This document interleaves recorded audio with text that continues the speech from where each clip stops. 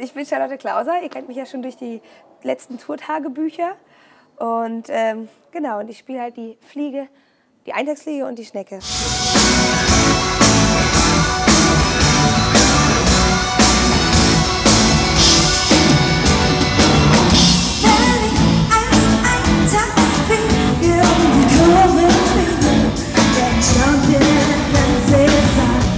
Mich ursprünglich angefragt, ob ich nicht Bock hätte, die Lilly zu singen. Und kam dann auch zu Maffa ins Studio und hat mir, er hat mir die ganze Geschichte vorgelesen. Das war total ein spannender Moment, weil das Buch gerade auch erst entwickelt worden ist. Ich saß bei ihm im Studio und ähm, da gab es so die ersten Ideen, wie es funktioniert. Und er hatte gefragt, ob ich die Lilly sein will. Und ähm, dann habe ich den Song auch eingesungen. Das Ding ist halt, man muss ja wirklich richtig gut zu der Rolle passen, weil wir müssen jetzt drei Monate diese Rolle verkörpern.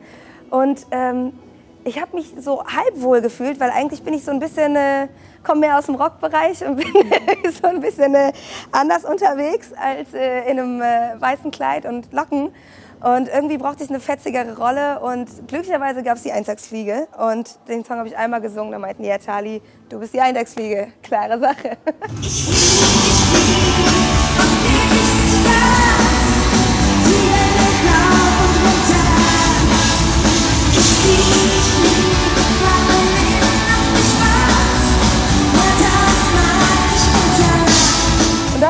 Schnecke dazu. Ich meinte mich, wenn ich schon hier bin, dann plant mich auch ein, sonst äh, muss ich so viel warten. und ähm, ja, die Schnecke ist einfach, die ist einfach total die bekloppte Nummer. Und das passt dann auch wieder. Alles, was du tust, muss mit Bedacht geschehen. Keine übereilten Aktionen. Es geht ja prinzipiell um die Zeit in diesem Musical. Und ich meine, Schnecke und Hase, ich glaube, fast unterschiedlicher geht es nicht. Der Hase ist total schnell und hüpft die ganze Zeit herum und die Schnecke, die checkt gar nichts. Und äh, darum geht auch der Song. Und der Song hat auch verschiedene Parts, langsam und schnell, also sehr kontrastreich. Das wird ein witziges Spiel da vorne auf der Bühne. Ich bei uns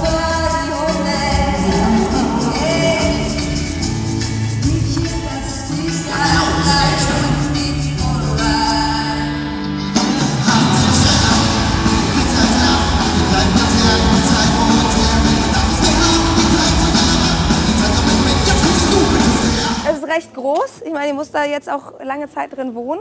Es ist fahrbar wie ein Wohnmobil und ähm, ist viel Platz für eine Minibar oder für andere Geschichten. Ich glaube, da wird uns auf der Tour schon einiges einfallen, was man da noch, äh, was man da noch mit anstellen kann.